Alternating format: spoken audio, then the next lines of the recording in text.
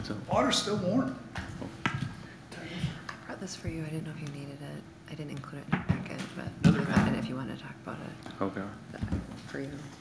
Kelly, were you able to get the system to work? Cause I could not get it to work Thursday.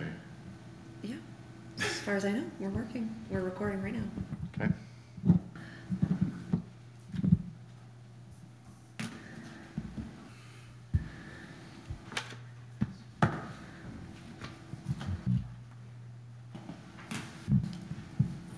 I got one o'clock.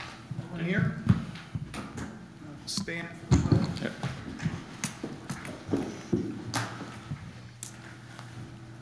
Pledge allegiance. allegiance to the flag of the United States of America and to the republic for which it stands, one nation, under God, indivisible, with liberty and justice for all.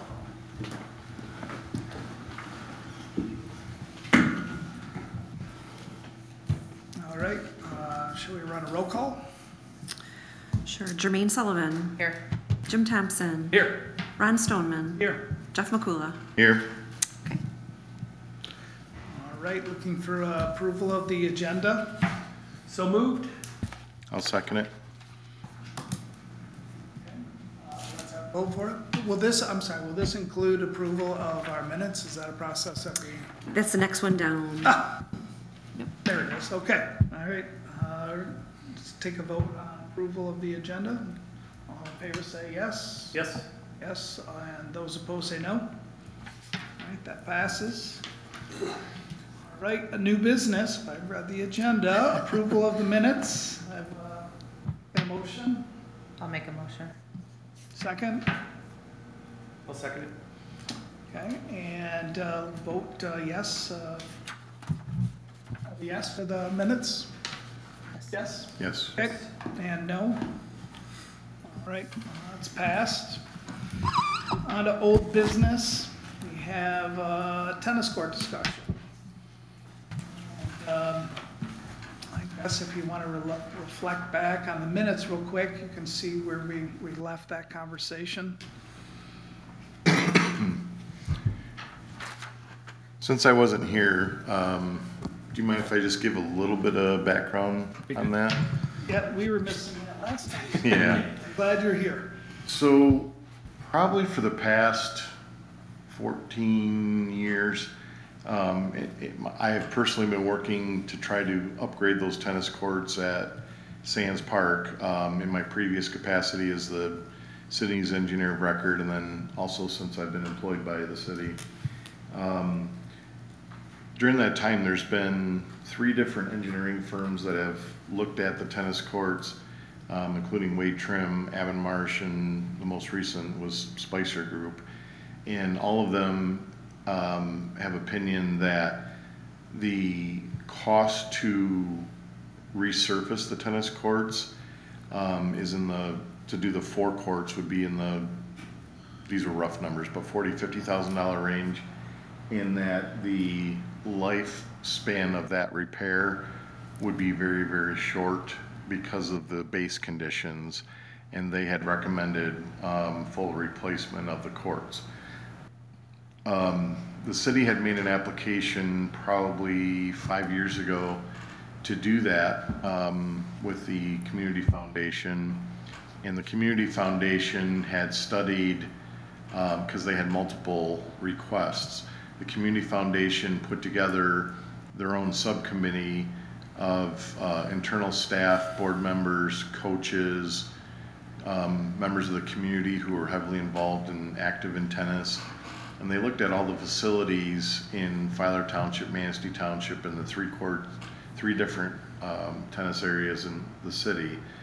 And what they recommended was that Manistee Township be repurposed for pickleball, that Sands Court, Sands Park um, was too expensive for the benefit, and they had recommended that the city um, look at First Street Beach to renovate the courts at First Street Beach, um, which would cost a lot less and provide at least four courts available to the public. And then um, at that time, there was some interest by the school of, in the future, constructing their own facilities. So the city proceeded with um, a new grant application. Um, The four courts at First Street were resurfaced and uh, substantial renovations were done to the fencing and lighting. And um, I think improvement has gone, or uh, participation and use down at those courts has gone up dramatically since that happened. Um, That still leaves Sands Park sitting there. Um, it- Also understanding that the north court and the south court were constructed at different times, so they are in different conditions. Um, But I believe it's the south court that's in much worse condition with large cracks. Um, And um, under the request of the city manager, the public works staff had gone down and cleaned up a lot of the grass out of those cracks. And people have started to use them again, but they're really not in a safe condition. Um, Bill, you can give details, but I, I know that the city managers had experience with other renovation companies. And I think you have some interest in having them at least come look at them and Yeah, we had some, previous place I worked, we redid some courts and it was just kind of those crack, it was like a tape and epoxy and then a resurface. And it wasn't that expensive and um, I think it might be worth taking a look at, es- especially, I think it's the south one that's the better court, but maybe we could just take a look at that. Um, Yeah, uh, are you time. saying, uh, there's two sets of courts there? Mhm. Is one of them potentially usable now or potential salvage? Is there, you suggesting that or? I'd like to look into it, just because I think, to, and just because if it's possible, we might as well look at it. If it's not a crazy amount, then at least, I think, I guess we'd have to have a cutoff at a certain point, yeah, I mean, if you invest fifty thousand, eighty thousand, whatever it is, or if it's twenty, I mean, maybe that's a manageable amount, and it makes sense to last five to ten years. That makes sense, so I'd like to take a look at that. Was there a, a option of doing something different there if they weren't rehab? Like if they, like a different use. yeah, I, I think that potential's there, yeah. yeah, but nobody had any ideas of, Uh, I don't think it's been discussed at, well, there was discussed at this level a couple years ago, repurposing it for other recreation or either, or even, we looked at housing. Um, City Manager Taylor was interested in, proposed we look at housing along Robinson. Um, but the city attorney researched uh, in our use, the land, I believe, is the, the, the Sands family required a public use on that land. Mhm. Otherwise, it would revert back to the family. I, I believe that's a short summary of it. That's my understanding. So, um, we lose control of the land if we don't keep it for public purposes. So, and a couple of years ago, I had also offered, and we were at the point where we were gonna just tear it all out. And I had offered, my staff could probably do that. Um, I know at the last meeting, that was discussed a little bit, and Kelly had asked me to, um, to look into that. Um, I just don't have the capacity to do that, so I did have a local contractor, um, just gave us a ballpark price half hour ago.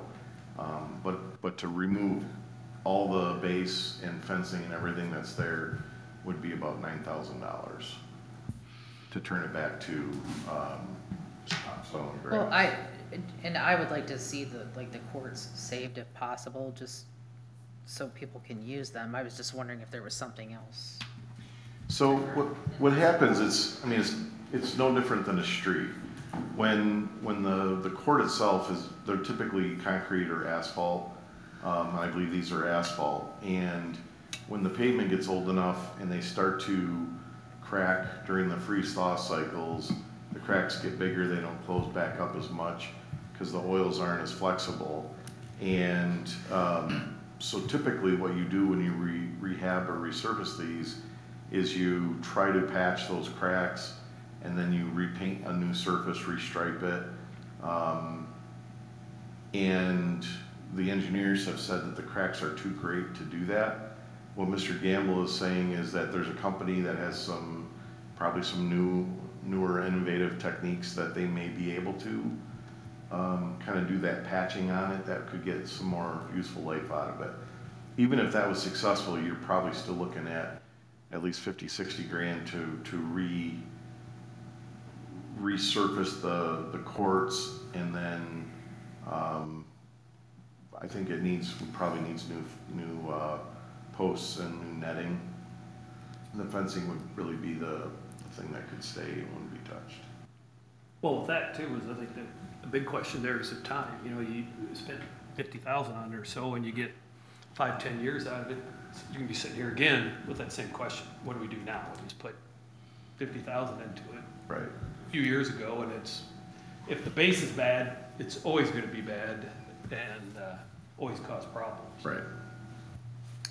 The, the core that, is that how you determine if it's suitable bases? Um, I believe the company would need to look at the size of the cracks and the nature of them, and then to see if they can do a treatment on the cracks itself. But once the pavement gets to that age, it's still gonna continue to crack in new places and, um, and, and there's no good funding for this. The community foundation has been very good at supporting, there are DNR grants that are available, um, but there's not a real easy pure solution. The local tennis groups looked for years and years through the, the Professional Tennis Association and any type of other, you know, foundations, because the community really wants facilities. I'm sure the school would appreciate having four court, or eight courts to use as opposed to four. Um, Right now, the biggest use there is people with electronic cars steering them around and, um, kids with skateboards are bringing their own stuff up there and playing on them. Well, I guess it would be bad to come up with, see what the, new technology that, uh, see if that's an option, but, uh, some of that be the longevity, how long will that last? And to your point, if it's, if it's gonna get in a bad state again in a couple of years or five years, maybe it's not worth it, so. Right, because we're gonna be having the same discussion. And to um, Mayor Pro Tem Sullivan's point, maybe we have kind of some options. I know, we- like an outdoor fitness um, area, that's kind of in our master plan, but maybe there's some uses like that we can look at um, and talk to the community foundation too. So maybe we'll do one last check on, you know, is there a way to save them? Is it worth it? And then kind of come back with some, we know the demo costs, which I appreciate Jeff. And then we have some options to, for the future plan there. With the condition it's in now, we don't have any liability associated with that, new year. Um, the school actually puts the nets up and stores them. And, but I think the nets have been left up for the last couple of years. So if there's, there's probably governmental immunity, but if the cracks are really bad, I think at least on the, the north quarter, um, those nets should come down. And so we don't have people playing on it.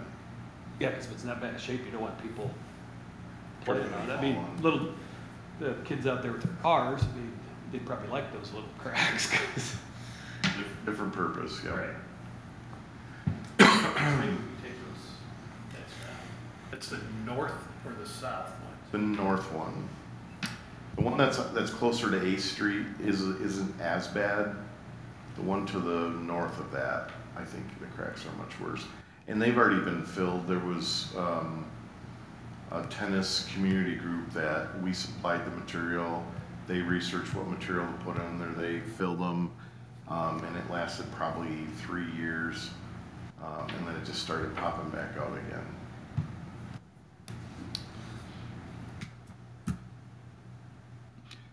Do we, uh, aside from the school use or potential use, um, do we feel there's a demand for, for the courts in the community? There seems to be, but I think the growing demand is pickleball. And that is tremendous. I, I- I can't believe the facilities in Manistee Township, how many people are there all day, every day. It's, it's amazing. Right.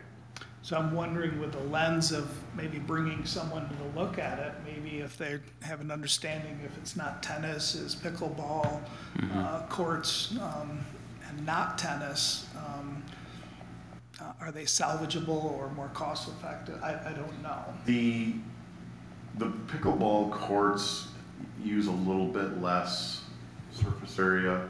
The nets are a little bit shorter and they're a little bit lower, but they're just striped differently, but the surface is the same. So the rehab costs, I think, would be just about identical, but it's just what use are you using? We also, trying, trying to sweeten the application for that rehab to the um, community foundation, put in dual striping, and then we were gonna put in some mechanisms to adjust the, the height of the net. And the pickleball community said, and the tennis community said, don't try to put two uses on the same thing. It gets confusing, it doesn't work. You need to have dedicated facilities for each. Well, I mean, yeah, Matt, that's what I'm saying. Maybe this could be a dedicated pickleball, uh, that'll take some pressure off of other tennis courts that are used for pickleball. It would allow, Yeah, it could be, and I don't, I don't see a capacity issue at First Street. I see a lot of usage, but I never see full capacity or people waiting. Um, so we have agree- an agreement with the city um, uh, for the- our tennis team. Do you feel that's displacing? Hearing anything negative about? I have not heard that. You haven't heard anything negative about? It? No.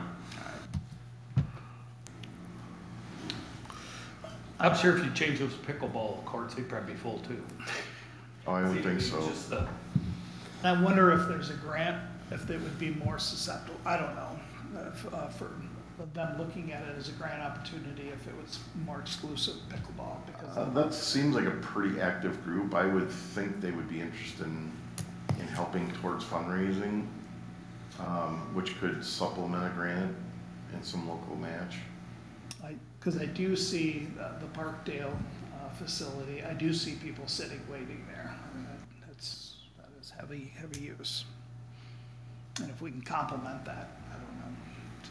So regardless of which way that goes, um, I, I would make a motion that we explore, um, some new rehab techniques and, and make sure we know exactly where we're at and what the life, you know, life cycle cost of, of a rehab would be versus, um, reconstru- reconstruction, and then bring it back to this group for a final recommendation. would be interested if one is too expensive to salvage, the better one may be, would be interested in saving just one set.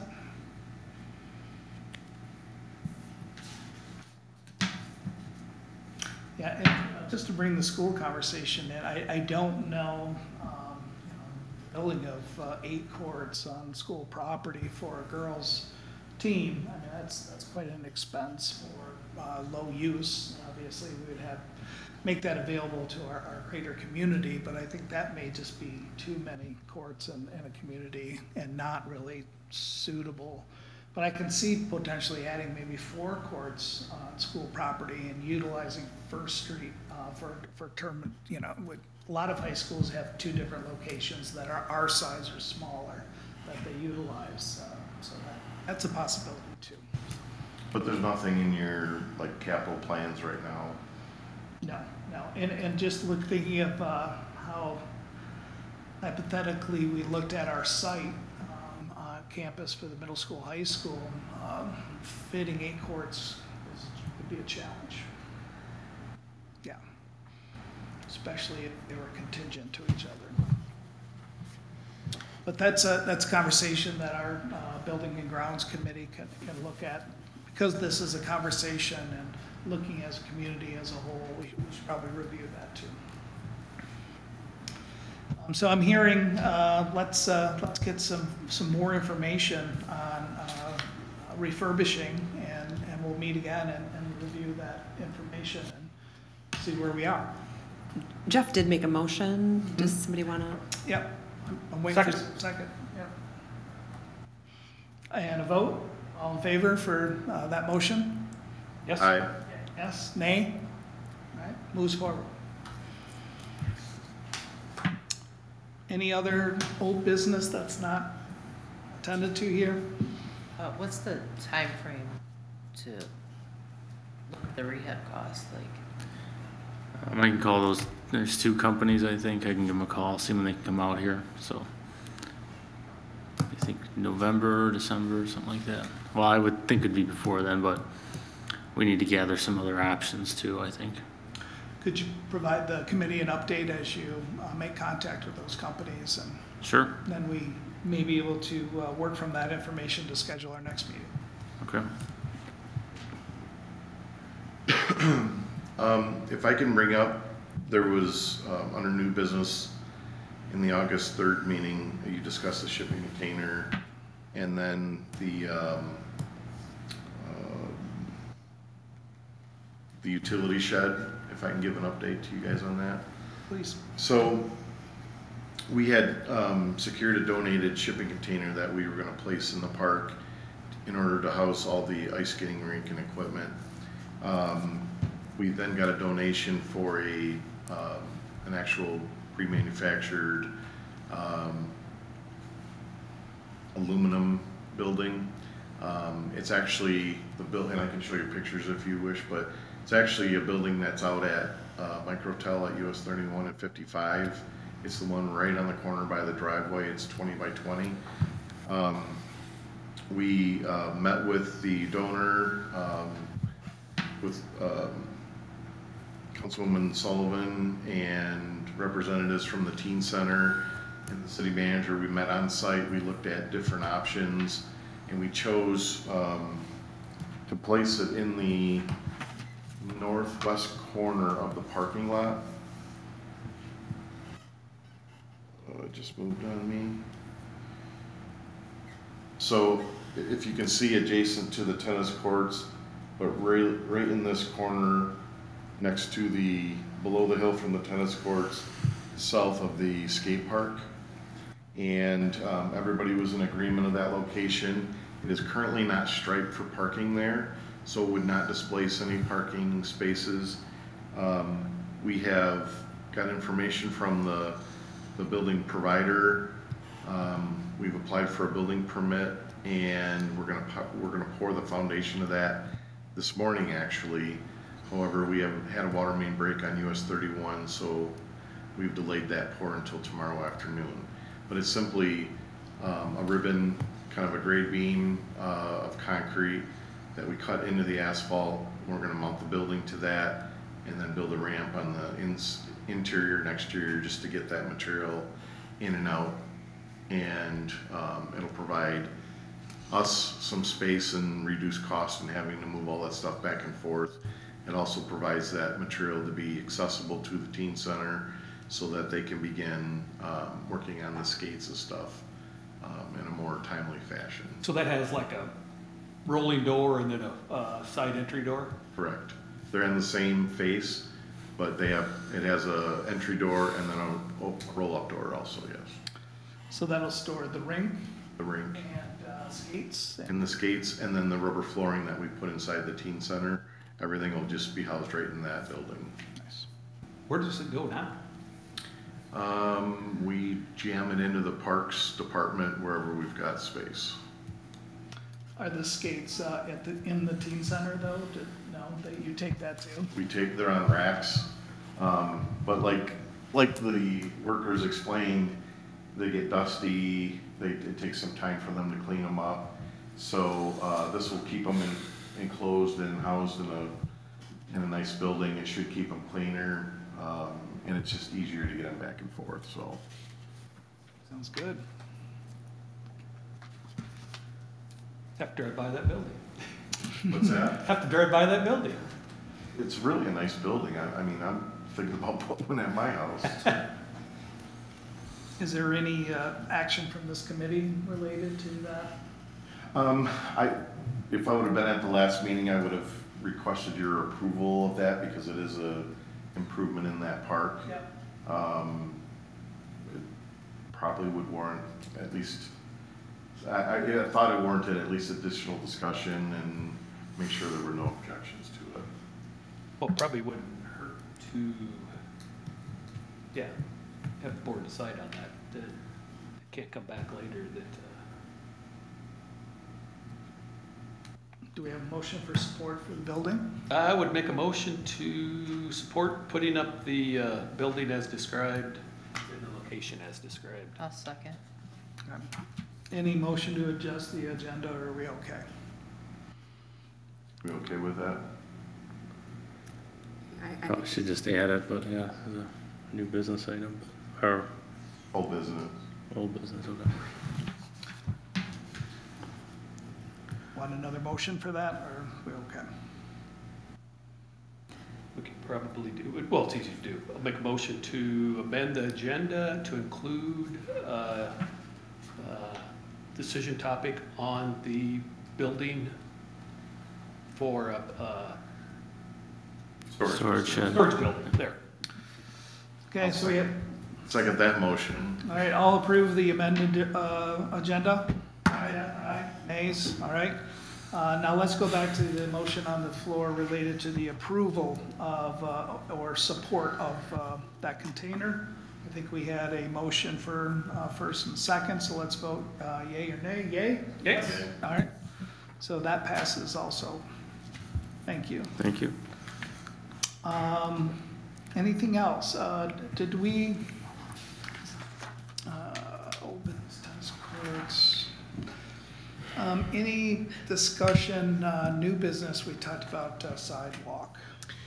I've looked at that closely, um, and the city's been working with the school and their design team on the improvements, um, to Kennedy School. And I think that even if the tennis courts remain, that a sidewalk could still be extended down to Eighth Street and be adjacent, um, to the curb and gutter that's there. I think there's enough room for that. Um, I'm not sure when and how that would be constructed, but I think it, I think it can be completed. Um, the very worst case scenario is the slope that comes off of Robinson on the east side has a small drainage ditch before you get to the court. And even if a portion of that had to have a pipe installed in it so that you could add fill, I, I think that that sidewalk could be and really should be extended. Um, and, and I'm not suggesting that the school should build that or that the city should build it, but I do think that would, that would link all of the, the new traffic, foot traffic patterns to Eighth Street. And, um, I suggest that we try to, try to find a way to, to fund that and make that improvement happen. Okay, can we, uh, have uh, that sidewalk added to old business as we move forward in- with our agendas? Just so that we can continue to discuss it. Sure. And we can come up with, you know, what we think the cost of that would be. That would be pretty easy. Um, But I do think it's feasible. Yeah, That's good to hear. Well, the timing of that too, you probably wanna, you know, granted you want that sidewalk in there sooner than later, but you wouldn't wanna, um, be put, put the sidewalk in and then decide that we're gonna tear out the courts and then Correct. end up messing something up because we tore out the courts when the sidewalk was there, so. Correct, yeah, I think, I think, a- and, and there's nothing imminent about having to get the sidewalk in tomorrow or even the next year, but I do think that should be part of our consideration, and the timing of it should match up with whatever happens with the courts. Right. Yeah.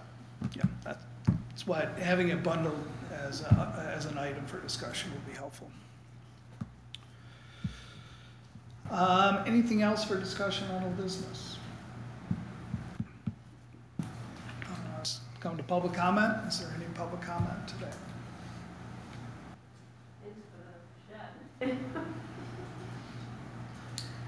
All right, uh, no public comment, uh, looking for a motion to adjourn. I'll make that motion. All in favor of adjournment? Yes? Aye. Nays? Thank you. Thank you. Wow, probably the most productive Boom. meeting we've had.